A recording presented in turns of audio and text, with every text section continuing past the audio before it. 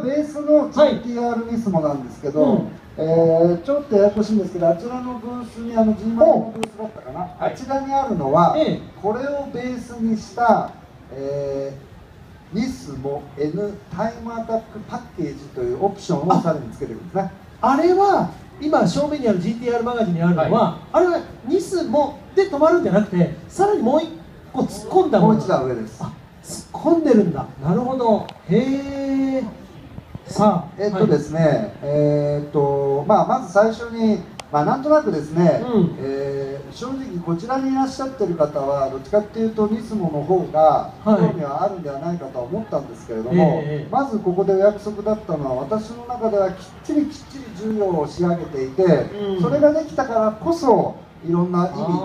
でリスモもきっちり仕上げることができたなと、まずあのここだけで説明しますね、はい、もう見てくれはご存知のようにエアロ系を全部変えました。でダウンホースは、はい、えー、っと今持っている GTR のちょうど2倍ぐらい入ってます。そんなに、まあ、正確に言うとフロントは1.3倍ぐらい、はい、リアが、えー、っと5倍ぐらい入ったかな。ほまあ、4倍ぐらい、まあ、いずれにしてもトータルで、うん、えー、2倍ぐらい入れてます。それから、えーとまあ、フロントサイドリアバンパーウィングがカーボンだと、うん、内装も全部変えてますと、うん、それから、えーと、フロントのホイールを 9.5J から 10J にしました、はい、細かいですけどね。それからハブボルトを普通は12を使うんですけれど、ええ、M14 にニスモグレードで、はい、変えてます、まあ、そんなところはニスモの変更です。次めくってください、はい。あこれあれですよ。なんか先ほどのよく見る、はい、CFD ってやつですか？そうですね、はい、空力のね。まあこれはまあ見ててもあんまり面白くないので次お願いします。で エンジンエンジンがまあ特徴的だと思うんですけど、はい GT3 で使っている大型のタービンをつけてます。だから600馬力が比較的出しやすかったんですね、うん、次お願いします。でまああの実はここも結構肝なんですけれど、はい、えー、まあ、GTR のボディってものすごいしっかりしてるんですけどそれにさらにダンピング効果って言って入力が入った時のまあ、減衰をさせるとかそういういろんな目的で、ええ。ー、接着剤を、まあ、開口部とかドアの開口部とかいろんなところにちょっと塗って、えー、さらにボディもやってます、うん、これがまあいわばセマショーとかオプサロンとか、まあ、皆さんには申し訳ないんですけど、はい、まあ後付け系の人たちは意外とやりにくいところですよね。これがメーカーならではの、まあ、なんていうか塗装前というか、価値を電着前に、全部ボディも手を入れてやるっていうのは、いわゆるなんかもうレーシングカーの考え方ですよね哲也さんね、レースで言うたらスポット溶接とかね。ね、まあ、ツーリングカーのレースとかもこういうとこからホワイトボディのところからね、作っていくっていう。普通で言ったらアンダーコード入って、やらないといけない部分が最初からしてやるんですね。そこはすごいな、まあこれやっぱりあの34の時も言ってたんですけどボディは力だなんていうキャッチフレーズだったんですけど、えー、やっぱり我々日産はまずはボディがしっかりしてないといけないということを、はいはい、まあ、考えながら車を作ってますから、はい、なかなかパーフェクトな車は作れないんですけれど、少なくとも GTR はまずきっちりこういうふうに作りさらに GTR のニスモは屋上奥ですけど、まあ、ボンディングボディとかで、さらにさらに上を目指しこのテクノロジーを今ねえー、例えばマーチニスモ S もそういうのを入れてたりとか、えー、ジュークニスモも RS っていうのがアメリカで発売になっているんですけれども、はいはい、これも時期日本で出てくるんじゃないですか？なんて言いながらそういうのにも 入れてます。なんて言ってますよ。言ってるじゃないですか、ついついちょこっちゃいましたけどこれなしですよ。えで今後まだ皆さんダメですよ。ツイッターとかフェイスブックの上げないようにお願いしますよ。であとは、はい、先ほどのまあ細かいところですけれど、細かいところも手抜かないでやっぱりフロントのタイヤのグリップをもうちょっとだけ上げようということで 10J にしたりとか、はい、その時の入力がさらに厳しくなったんで14まあ、まあ両方とも前後もやったんですけど14、はい、14のボルトを使ったと。次お願いします。まあ、それであとタイムアタックパッケージなんかの話が今後ちょっと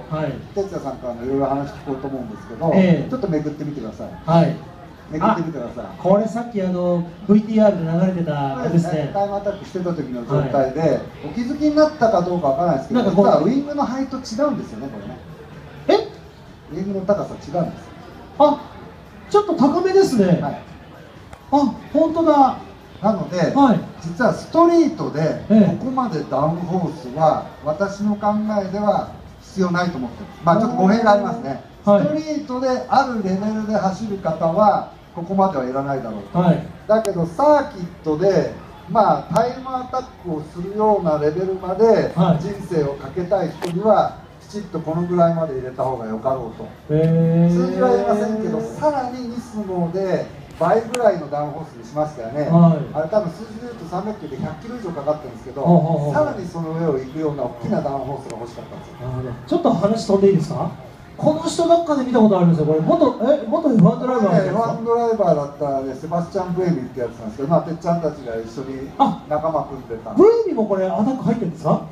すごいドライバー連れてきましたね、なんか。いや、だから、はい、もう西のなんとか東のてっちゃんじゃないですけど、はいはい、もうエースドライバーを4人揃えてやってますから。すげえ。レッドブルレーシングですか？レッドブルレーシング、ね、レッドブルインフィニインフィニティレッドブルレーシング。そうかそうかそういうだからスイス人がいてドイツ人がいて日本人がいてすごい面白いですよね。なんかワールドワイドでいろいろドライバー集めて。まあ、あのこの人は職人なんで、はい、きちっとしたエアロのコメントとか、まあ、足のコメントとかいろいろなのもらえるじゃないですか、はい、である種の速さのゾーンのところなんかではイケイケで、まあ、この若いのが行ったりとか、えー、まあ、でまたクルムとお話がうまくできるもんだからここはこうだったあだっていうのをお互いやってくれるんで、えー、やっぱり1人のドライバーより2人2人のドライバーより3人、うん、3人よりも4人、えー、そしてうちのエースドライバーの加藤博義まで投入して、今回まとめたんで、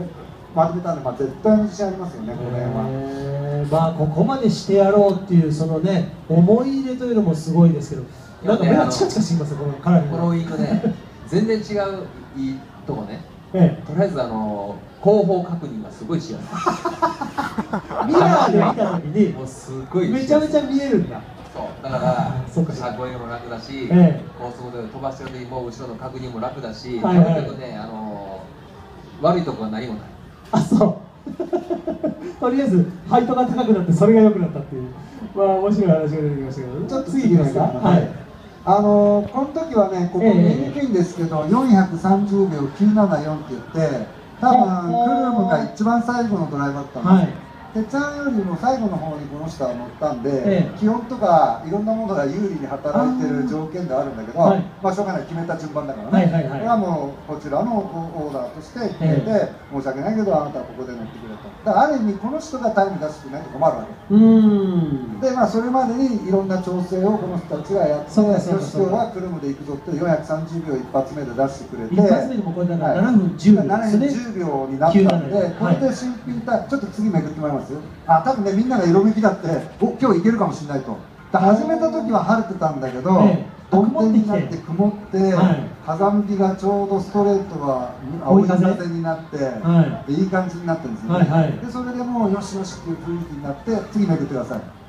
はい終わっちゃったか。あこっからねビデオを見てもらった方がいいかもしれないのでビデオのタイムアタックの。はい、はい、あるんだ。動画ありますよ。えマジですか？あちょっと見たい見たいじゃあ、じゃあここで説明して。こまあこれがあの最終コーナーですね。まだ今これこれからアタックですね。すみません田村さん場所変わってもらって。はい。タイヤを今温めて今からアタックに入ります。これ今哲也さんですか乗ってるの？これマイケル？クルクルですね。マイケル。でここから伝わる。さあグランツーリスモで見た見たこれ。そうそうでここから下りでね。はい。ここで大体僕コースアウトするんですよ。ゲームね。あのまあ、ここから長い、ね、一周になるんですけど、はい、あの本当にね、これ見てたら、スピード感ちょっとないかもわかんないですけど、ここで、もうこれ5速でリミッターに近くまで行くんです。うわでここハー。ツセンバッハっていうんですけど、はい、すごいここね、滑りやすい。でもでもね、この辺までは精神的に結構楽なんですよ。そんなに怖くでも、このコーナーを曲がった次ぐらいから、はいアルメニルで一番怖い通りこれ下っていってね、はい、これ5速全開なんですけどあのー、次。うおこの次ですね。ここジャンプするんですよ、はい、で最近ここですごいみんな飛んでクラッシュするんですけど、はい、でこの辺りがねこのアタックがすごい速い、えー、強烈に速いですね。でも今更ながら田村さん思いますけどやっぱりステアリングから手が離れないってすごくいいですね。見てても安心しますよねここのジャンプもジャンプしてる。あの260キロぐらいでジャンプしてます。で次、えー、ここあの次のホックスフードなんですけど、はい、この先下っていくんですけど、はい、6速全開で下って登るんですけどこのね下り切ったところでね250キロ出てる。でこういってこれ10度ぐらいの下りなんですよ。やっべー。でここがねここから先10度ぐらいの上りなんですうわーここから胃が急に下に下がる下がるうわーブラインドで。これで車6速全開に行ったんですね。でここはちょっとね一休みする場所なんですよ。は僕ここでレース中にね一回ね、ええ。あの予選中にガス欠で止まってね でセッション終わるまでここでビール飲んでたことなんです。い そんな裏話が出てくるとは。まあニュルはそういうねえいやビールは持ち込んでないですよ。持ち込んでない。観客の人がくれたーもうんですよね観客がね周りにすごいいるんですよね。ほんでねあのーここから先、はい。えー下っていくんですけどこの下りがすごくて必ず耳がねキーンってなるんですよ。あもうあの高い山から一気にこう標高変わる？でこの辺で必ず耳抜きしないと、ええ。耳がもうおかしくなっちゃう。ぐらい下ってるんですよ、えー、そんなこの高低差なんでうこれそう落ちてるみたいですね。今すぐさっきの、はい。ちょっとギャップがひどいとこ。あれサスペンションの悪い車だとあそこでね冗談的でダンパーが折れる。ダッパーが俺ダンパーが折れるだからおー。本当に車の衝撃の吸収はすごいです。よこれぐらいのスピードになってダンパーが悪いとダンパー自身が折れちゃうあなんとなくでもこれとあと今哲也さんの話聞いててなんでみんながニュルで車を鍛えるかって多分分かってきますねなんかね。でねこの,、はい。この次がそれこそあの今やってるラッシュ。はい。でいうこの次の左コーナーがニキラウダがポイントのとはい。そこで僕ら5速全開で行くんですけど、はいすぐここのコーナーです。ここ5速全開なんです。5速全開って25060出てる。出てる状態で560出てるよね。でラッシュぶつかったらラッシュみたいになっちゃうんですよ。ぶつかったらラッシュリアルラッシュ。でね。そうそう。リアルラッシュ。ここ、えー、決戦入ってるんですけど、はい。えー、ここで3、4、5って上がってるんですけど、このはい5速で、これ逆にカントがついてますよ。そうそうそう。でね、逆バンク。そう。ここの次のやここ、あーやべえ。ここ、今のコーナーをね、全開で行ったのはね、クルムだけ。ちょっとだけ俺走ったことはあの自分でもねサーキットはある人だとやばいなっていうのはもう分かりますよねちなみにこの右側は谷底。はい。分かりましたよ。聞かないことにします。そうなんです。聞きたくないです。この辺はもう5速、6速ばっかりで、もうすごいスピードが速くて。マイケルももうなんかゾーンに入っちゃってますね。えーとね、僕違うところでも言ったんですけど、はい僕 GT もフォーミュラ日本もマイケルとチームメイトの時何回かあったんですけど、えこの時のマイケルが一番速いと思った。あそう。あのー、国内で走ってる時は、ええ。もちろん速いんですよ、ええ。速いんですけどこいつ強烈やなっていうのをそこまで感じる時ってあんまりなかったんですけど 正直。でもこプのロがプロに惚れたね。そうこのアタックは、ええ。本当にねすっごい強烈しかしそれでもあのなんだろうどっかでそのコースの絵の恐怖感っていうのはあるんですけど車の姿勢から来る恐怖感って一切なんか感じないですよね、えーっとね、その車、ニュルってやっぱり悪いと、例えば遅い車でも怖くて走れないんですね。えだからこの場合、この車の場合はね、本当にそういう、なんていうの、攻めようっていう気が起きて、うん。僕24時間いっぱい出てますけど、はこの車のアタックが一番、えー気持ちからアタックしようっていう気になりました。あーじゃあそれはやっぱりお互い車とそれからドライバーとのコミュニケーションがうまくちゃんと取れてるっていうか。車ですね、だから全然怖くない。ああそうか。乗ってる側からするとね確かに、うん。怖くないってことは、やっぱりね、一般道で走っても、全然ね、安全感ありますからね。セーフティーマージンも全然違いますから。しかし集中力を保つだけでも大変ですけど。はそこでこのね、はい。次のこの下りがね、い。えーさあ来たフランスカルデンって言うんですけど、ここがね、5速全開で行くんですけどね、はい。すっごいジャンプするんです、ここまた。ポンって抜けるんですうわ来た来た来た今ちょうど着地的もね。そう。は本当に男の人ならちょっとスッとするんですいなるほどわかります？わかります？わからないそれが気持ち悪いところですで ここもまた5速全開で、はい。ただここからね棒で行くんですけどここだけはねセバスチャン・ブエミがむちゃむちゃ速い。そうなんだここのコーナーだけはブエミがすごい速い、へえまあ、だから全員がで僕このコーナーはここと次のコーナーはね案外僕が速いだから全部がねいいとこが全部集まったらもっと多分タイプ出るんですよ。よしみんなで子供作ろう。そういう問題じゃないけど。だからね、本当にデータとか見てたら面白いですけど、ただこの時の車のアタックは何箇所かはね、本当に強烈な走りです。そうなんだね。でそれと、ここからストレートになるんですけど、はい。大体こう走って、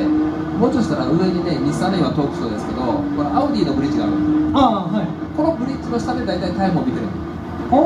から何秒ぐらいで帰ってくれるかが分かるんですもう分かる。んだでここにストレートなんですけどこの時すごいコンディション良くて310何キロですよね。そうです310ちょっと。でね310何キロもこうストレートこれ上りなんですけど、はい、このちょうど橋みたいな上にあるんですけど、はい、ここの手前に出るんじゃなくてここが過ぎてここから下るんですよそうですね。で下ってこの下り切ったところらへんで310何キロ出るん。ですよまあ、あのストリートでいうとあのこの大阪でもあるけど湾岸線の高速コーナーをバーンと280度いく感じですから。そうそうそう。湾岸線の高速。これでねさこれこれで終わりなんですけどそうですね。これね本当に完璧なラップ。もう多分ねクルムにもう一回選出もできないかもしれない。いうぐらいのラップで多分これねクルムが F1 フェラーリ取ったら多分 F1 でポールポジション取ってます余裕で。そういうぐらいの走りぐらいすごいんですけどあのー、さっきのその310何キロ、はいはい、あれノーマルだとあそこ全開がギリギリなんです全開ギリギリ。だけどこの車だったら、はい、多分足でもいける。本当ですか？いや足で足でハンドル持ってもいけるぐらい簡単にいける。へえいやちょっとお見事でした。たださんありがとうございます。ね、ね、ちょっと拍手お願いできますか？はい、説明で。すごい。いいぐらい喋ってても長いぐらいニューって長いんですよ。ねえ、はい、でもそのやっぱほんの数秒のポテンシャルアップだけれどもやっぱりものすごい血の滲むようないろいろなことを考えてそれを車にフィードバックしてでドライバーがね、まあ正直、えーと、GTR を今に始まって私たちがポコッと出てって開発したわけじゃなくて、えー、やっぱり先代から始まって開発は当時私がコンセプトをやって出したのが2001年じゃないですか、はい、あそこから始まってるんですね、うんうんうん、でいろんなトライアンドエラーがあって今の形になるまで2004年ぐらいまでかかったのかな。それで水野さんに渡して彼が発表したのが2007年、はい、そこからもニューに毎年行って、えー、まあ、大体毎年やって仕上げていくから、うん、毎年こう上がっていくわけじゃないですか、はい、膨大なデータあるんですね。だからそれを紐解いてどこが、まあ、我々のウィークポイントかどこが強みか。であとは今度ドライバーの資質みたいなのもあって、ええ、その4人のドライバーって一応みんながまず怖くないよね、うん、楽しいよね、うん、なぜかというと究極のドライビングプレジャーの追求をやっぱり最後したいわけですから。ということなんですよね。そこがないとダメなんですよ。究極に怖くてタイムアタックしたっていうのはやっぱり嫌なんで、はい、もう。今ねその話じゃないけど、ええ、開発の途中までは、ええ、あの冗談的にね。ドライバーで、これあんまり無理せんとこな。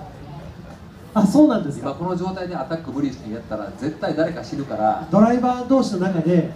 あの、えー、今この状態でアタックしたら絶対誰か死ぬからあんまり無理せんとこっていうぐらいの状態の時も正直あったんですもう乗るかそるかみたいな感じぐらいのその状態でそのタイムを出しに行こうとしたら、はい、それでも最後なんていうのは、えー、もうみんなどんどん楽しくて、えー、そういう気持ちはほとんどなかったですからね。う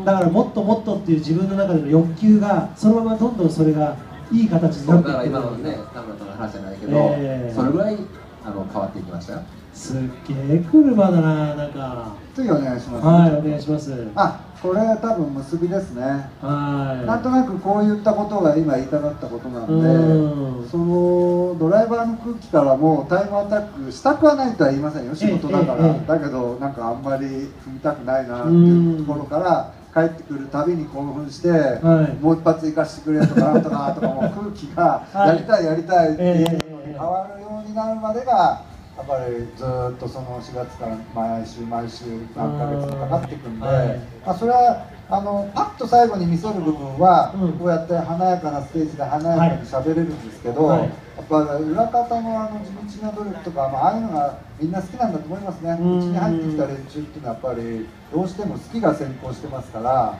寝ないでやってますからね。そういう意味ではあの、まあ、自分が入った日産もそうだし車に携わってこうやって30年近くやってくるとやっぱなんとなくこうまとめ上げていく方角、えまあ、そういうものがこう見えてきていいんじゃないかなと。だからこう雪の日にこう来てくれる人たちなんていうのはまさにそうですよ。学校のまあお客様たちで、ねね、こういう困難な時にね田村さんのプレゼントであれして抽選で1名に当てましょうよ。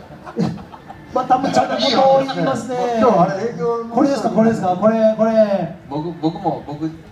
先頭でやってこれ一応約束だから説明しておきますと、あのさっきのまず、えー、あそこにある実写と同じですよね。1年のだって聞いてるんですよね。申し訳ないんですけどまずグレードニスモの方は、はい、あれほとんどバンパーとか全部手作りだからオートクレームで。それでさらにここにダウンフォースを増やすためのマテリアルをいくつかそれからここもダウンフォースこれもスーパー GT で見たようななんかあれですよまあね流れを作って、えー、あとミラーに、まあ、風を当てないようにするとか。でこれでリアも増やしのまあ、いくつかやってますね。で車高調整で 4way かな、まあ、テンションとコンプレッションの低速側と高速側も全部いじれるやつを足回り入れて、えー、フロントのパッド入れた後フロントに LSD 入れたのかな。ちょっとめぐってもらいます、はい、まだなんかあるああこれ内装、これは、えーと、基準 GTR の内装。次めくってください、はい、あこれニスモの内装です、ね、はい、次めくってください。あこれは基準のニスモのあの外装。次めくってください。これアタックパッケージじゃないじゃない方ですね、はい、これはニスモの、まあ、メーターの話ですね。次めくってください。めくってください。めくってくださいあごめんなさい。なんかちょっと技術的な。あそうそう。えっとねここも、えー、ニスモのアタックパッケージ N アタックパッケージはカーボンファイバーにしたんです。ウィリアムズ作ってくれたんですよ。あのうちウィリアムズと今やってますからいろいろ。F1 のウィリアムズそうそうそうそう。技術を、うん。ほピットとか帰ってきたら僕喋れへんすけど、はい、コメント英語で言わなあかんすか 大変ですね。そうなんだなんか面白いですね。あのなんかその、まあ、さっき正反対なわけではなくてすごくカラーは違うんだけど GTR そのグランツーとしてのやっぱりその性能としてベースで14年があるんだけどもなんか今日カスタムをこうねされている皆さんがほとんどだと思うんです。車が好きで。ででもこうカスタムっていうか違う方向へこうやって煮詰めていって性能を追求していくっていうまた GTR GTR なんだけど違う楽しみ方がまた全然提案されていて。そうですね。そういえば多分めちゃくちゃこのブースの中でも 35GTR のカスタムが増えましたよね。まああの嬉しいことですね、ねあの嬉しいっていうか、あのまあ、メーカーの立場ですから、い。じってくれじゃないですね、正直言うと極力触らないでまずはその車と対話してくれお楽しみくださいと。もうまず、はい、まず対話してもらって、はいはい、それから自分なりの色に染めていくために必要なパーツをそれなりに真面目に選んで、はい、できれば車の良さを新調させる伸ばすところをうまいことやってくれるといいなっていう願いに近いんですよ。ただまああんまり昔みたいに一度な触るなんじゃなくって、えー、慌って壊しちゃったらお客様の責任ですよ。そういうお客様との信頼関係ができるともっともっと GTR は楽しくなるんだろうし、まあ正直僕も3人結構かっつりいじってますから。そうなんですか、まあ、600万ありますからね。600万ありますからここだけの話。いややっぱり次あの、まあ、正規でちゃんときちんと届けての600割があります、なるちゃんとナンバーついてナンバーついてますだからね、やっぱり600割はね、一つの象徴なんですよ。グループ A だってこれ3人でしょ、はい、グループ A600 でしょ、ええ、やっぱりリスモもそろそろ600かなとかそういう感覚ですよね。やっぱりねこういう方が、ええ、そういう立場にいないと、ええ、こういう車はできないですよ。やっぱりねそう。ややっぱそうですよね。やっぱりねあのー一番トップというか、まあ、まとめ上げる方がラテンなこういう熱い地の方ですからこういう熱い車も出来上がってくるわけで、ね、最初にあの GTR は魂が宿ってますよという感じしましたよね。ねそうですよね。お分かりいただけました、えー、こういうのが。そう。あのあの GTR には大阪の血が入ってるんですよ。ラテンね。ラテンな日本のラテンの。ええ。ー、面白いな。この後どう進化していくんですか？まだまだ進化は止まりませんってなんですけどちょっとまああのなんなんですけどお高いんですよね。あのねあのパッケージがグレードアップしてますからね。はいあのー、まあよく一番目私実は聞かれてる質問を先にもう答えちゃいますと、えー、磁気型 GTR はどうなりますか？あその話いっちゃいますか？私お値段の話にいいやいやいやもうあの値段の話はもう逆に言えないからそんなことよりも一番聞きたい地型どうなりますかの方がよっぽどストレートでいいじゃないですか。あそうですかそうですか。それに関しては、はい、まあ普通はお答えできませんなんですけど、えー、一部ちょっと言うと私が戻ってきた以上は、はい、やっぱりまず3本をもうちょっとしゃぶり倒さないといけないなと思ってます。やっぱりねボディしっかりしてるっていうのもいいし、うん、これまだまだこの車は伸びると思います。あまだ伸びる、うん、だからまあなんか一部で勝手に雑誌の方がまあ16年17年とかいろいろお書きになってますけど、はいはい、まだまだちゃんとやります。ああじゃあこれからさらにまたちょっと皆さんがね今回のその14年モデルがさっきもものすごくフルモデルチェンジって言ってもいいぐらいのそのね改善というか良くなったっていうのを聞いた上でちょっと可能性としてはね、ええ次へまたなんかさらに高みをどう目指していくのかっていう。もう非常に期待してましょうあの期待してますよ僕らも。アプローチ。僕らあの GTR マガジンなんで、ええ、GTR がないと本ができないんですよ。何そんな元気な話してるんですかここで GTR やめですって言ったら終わりですもんねそうそうですよね今度から雑誌の名前変えなきゃいけなくなっちゃいますけども。じゃあまあこうご期待ということでよろしいでしょうかね、えー、まああのー、今日は本当にね、遠いところからあのたくさん皆さんも見に来ていただいてますのですいません。なんかこうファンの皆さんから熱い質問なんかがもし浜田さんに来たら答えていただけます？いろいろと、まあ、あのこの後ステージじゃないところで。あ時間がないんだ今日はね。そうか。じゃあまたあの皆さんにはですねこれから GTR マガジンが鋭意いろいろなものをですね、え情報を、はい、出しますので、はい、そちらをご覧いただいて。編集部にメールとかもらってもいいですか僕がその質問を田村さんに。ああなるほどね明日もやるんでしょ？これあそうです。明日もこの読書、はい、明日11時から12時まで。明日はね、はい、はい、またあの違った今度はアプローチ。今度はあの女性 MC の方がいろいろとですねまた私が突っ込みにくいところまで突っ込んでいきますから。え、えー、そんな話もですねまた期待していただきたいと思いますが。じゃあそろそろちょっとねお別れの時間が近づいてきちゃったんですけれども。まあ皆さん本当にあのいろいろと期待をしているそのプレミアムブランドであります GTR なんですけれども今後ご期待ということになりましたが。では哲也さん哲也さんなりに、まあ、今回ねこのイベント来られてる皆さんいろんな GTR の楽しみ方スポーツカーの楽しみ方もちろんドライビングやもうカスタマイズに特化している方いろいろいらっしゃいますけどなんかメッセージ的なものは哲也さんから。いやまあ本当にね、はい、あの GTR リスも、えー、N パアタックパックもそうですけどとにかくこうなんていうかなコンプリカコンプリートカーとして素晴らしく配る車なんでね。やっぱりこうできたら買ってほしい、うんし僕らももう本当に何人か言われてるんですけど、はい、あのー、はよ手に入る方法ないかとか、ね、っていうぐらいやっぱりこうどういうんですかね。本当に自信持ってすあのー、進められる車なので、ね、あのー、ぜひね本当にどっかで体験できもしくは購入体験できるところあったらあのやってもらいたいですね、え。ー、とにかく自信持って言います。ごまかし出して。車に乗れる今ねあのー